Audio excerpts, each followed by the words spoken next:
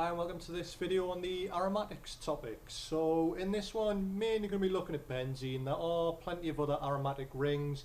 If you go on to do chemistry further then you learn how to spot whether or not, whether or not a ring's aromatic using Huckel's rule. But the one you'll be mainly interested in is this.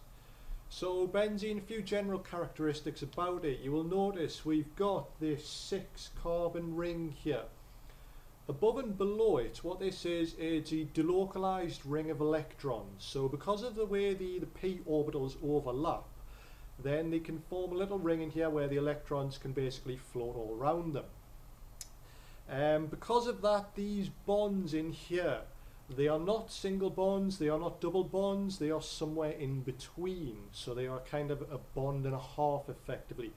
Because the double bonds are spinning around in here so fast that effectively, as I said, they just get classed as one and a half bonds. You'll notice as well it's planar, it's got a nice flat shape. Um, if it was three double bonds and three single bonds, it would be all deformed. Um, you wouldn't even see that actually the, the cyclohexatriene um, is more just a theoretical compound. So benzene's quite stable. Put some numbers up and we'll have a look at that.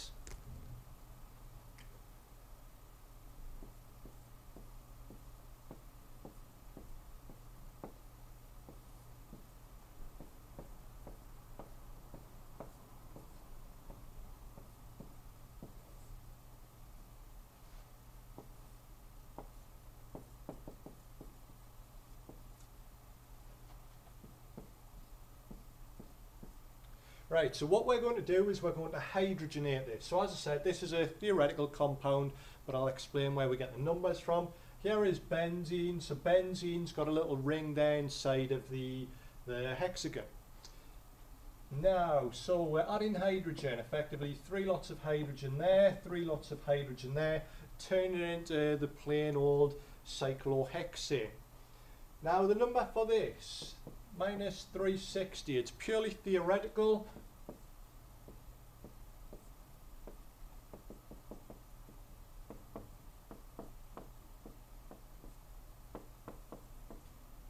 So where it comes from is effectively we know that to hydrogenate, to add the hydrogen across that double bond, break it open effectively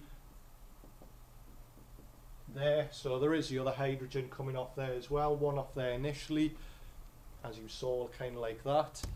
And um, we're just adding these across there. That's minus 120 kilojoules per mole. So effectively three times it here. That's where the 360 is coming from. Now benzene is minus 208 if I remember correctly, again kilojoules per mole. Now you can notice effectively here that this compound therefore is more stable. So what it comes from is this rings in here. It's where it gets aromatic stability from. That ring structure gives it a bit of extra strength. So it's actually 152 kilojoules less exothermic than we would expect. So because of that, most of the reactions which we'll do with benzene they're electrophilic substitution. It likes to keep that ring intact because that ring gives it a bit of stability. So you don't want to damage that ring there because effectively you would have to smash and pay all that extra energy to do so. So benzene more stable than this, as I said, theoretical compound.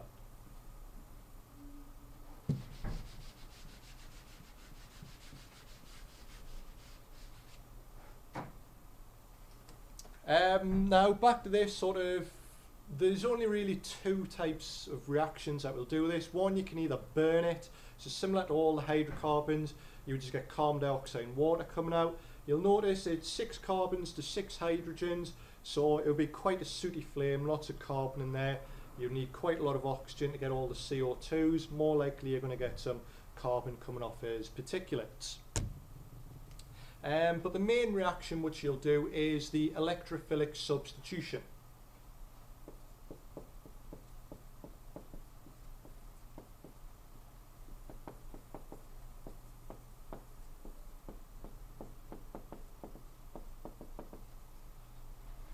Now, why the electrophilic? Well, again, think we've got this delocalized ring of electrons here, so this ring's actually quite electron rich.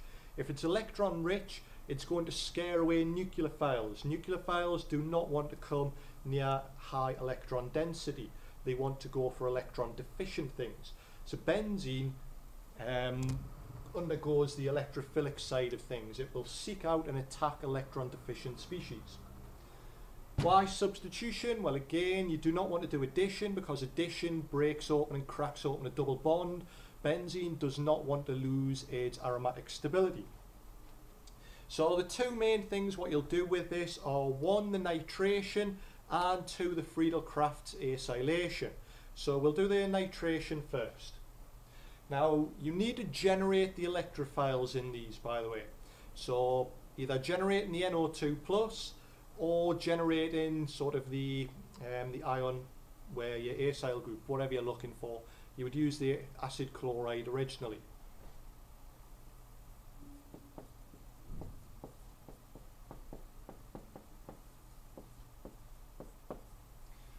So we've got sulfuric acid and nitric acid here. Both of them need to be concentrated, by the way. If you don't put concentrate, you lose marks.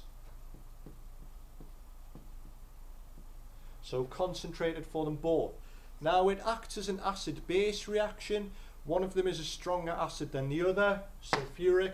So sulfuric acts as the acid, nitric acid acts as a base.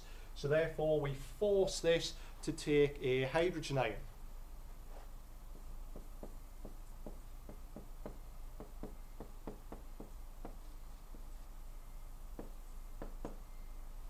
as that. Now this will quite readily break down.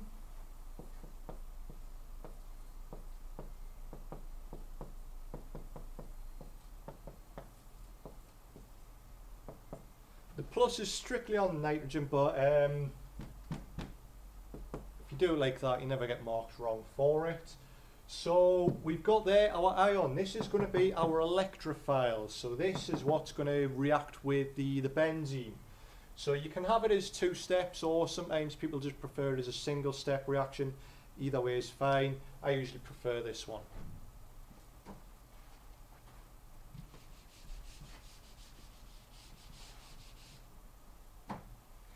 Now for how the mechanism actually goes about.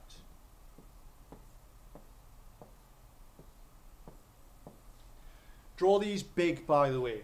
Some people tend to go like benzene being like that and it's a bit awkward to actually see it's quite you can drop marks quite quickly on this by not having sort of the correct ring in there when we come onto it with the intermediate have it drawn big so it's nice and easy for the examiner to see right so we've got our benzene here we are going to have the, the ion come in which we just generated so the NO2 plus now we're going to attack it. So start from anywhere inside the hexagon, can be inside the ring if you wish. And we are going to attack the nitrogen. Now, intermediate.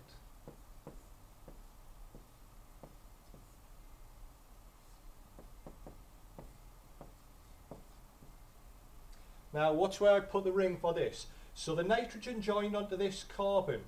We start our ring and finish it from the two carbons around it. So we do not continue in loop into this one. Now your positive charge will be delocalized in that ring there. So have it in there, you do not have it on the actual carbon. Now from here we need to reform that ring. So we want to kick something off to get some electrons back, complete that ring structure again. So what happens is poor little hydrogen here, he's kicked off, the electrons, remember, start at the bond, it's where the electrons are. They come in and they reform the ring structure to complete, well, get the aromatic stability back.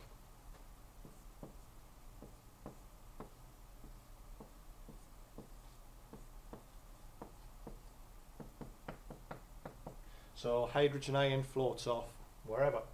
So there's your nitration. So this is how you make sort of the, the TNT, things like that. In order to name this, well, this is called a nitro group, so it's just nitrobenzene.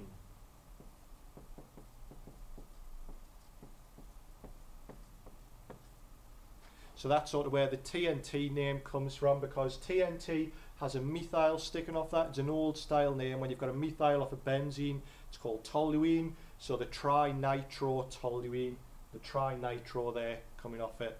The proper IUPAC name for that though is actually a bit different. As I said, toluene's an old name.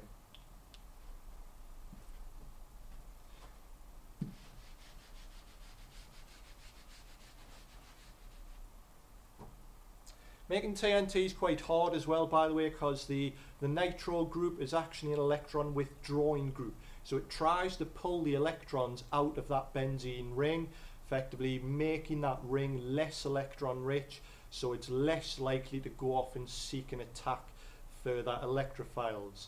So once you've got your first nitro on, goes quite quickly, second one a bit slower, third one's very tough to do. So you need some pretty tough conditions to make TNT.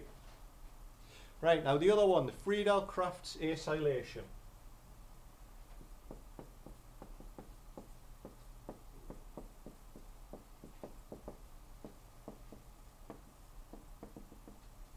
So previously we generated our electrophile via the concentrated acid and effectively the concentrated nitric acid, so acting as the acid base, remember, put together.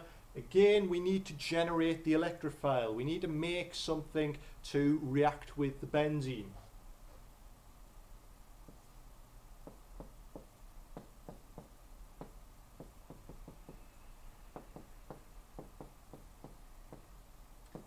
So this here, the aluminium trichloride, this is going to act as our catalyst.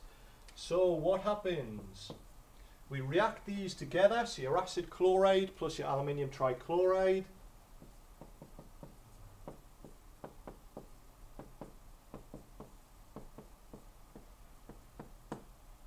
Remember charges, some people forget that negative charge there. If you've got a positive charge here, must have the negative there because it's neutral across here. So we've generated our electrophile here. Now, how this acts as a catalyst, obviously a catalyst must be reformed. Later on, you'll see we release the hydrogen ion just as we did with the nitration. And what happens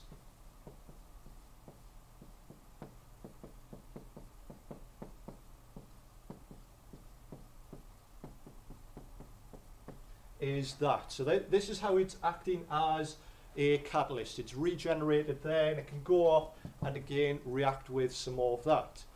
So we've made our electrophile. So now reaction with benzene.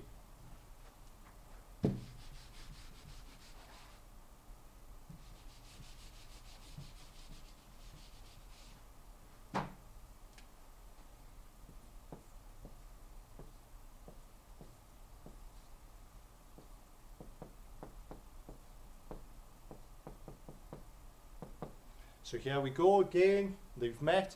Electrophilic substitution again, because electrophile and substitution, because we don't want to have to pay that extra energy to break the aromatic stability. So exactly the same thing. Attack the carbon. Carbon's got the positive charge.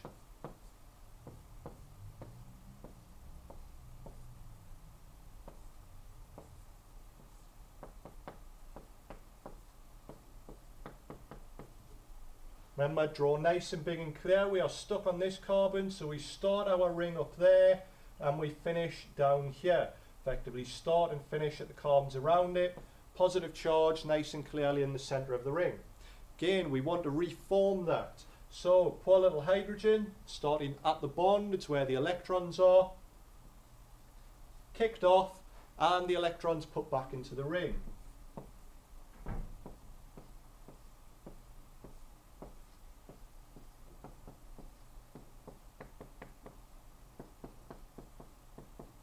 So there is the H plus, which I mentioned before, which goes off and reacts with the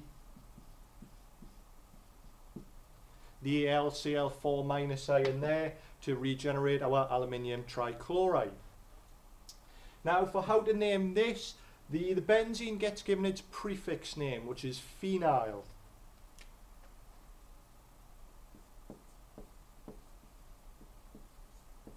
So the phenyl is this bit. Now you'll notice across here we've got a ketone functional group. Some people don't spot it, but remember you've got a carbon here effectively, carbon there, carbon there. So the carbon double bond oxygen, the carbonyl group is in the middle of a carbon chain, so it's a ketone. Now, what's the length of this? Well, it's 2, so it's called phenyl ethanone.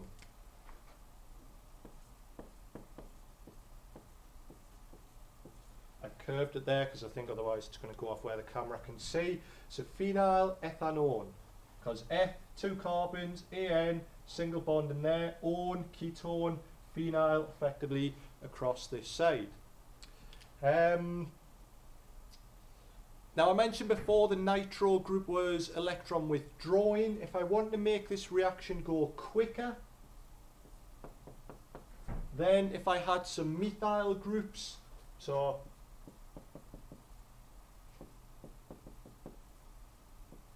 some methyl groups attached to the benzene ring, that will go quicker because methyl groups are electron releasing, so the inductive effect. They release some of their electron density into that ring, make the ring even more electron rich, so effectively it can go out and seek and attack that electrophile even quicker because it will be acting as a better nucleophile from the fact that, well, as I said, it's more electron rich. Um, I think that's it for the aromatics topic. It's fairly short. Um, you won't use benzene in the lab, well, hopefully shouldn't. It's carcinogenic, you might get cancer and die. Um, you should know the basic naming of it, and then the main reaction is just as long as you can draw this for the electrophilic substitution. So that's it, thank you.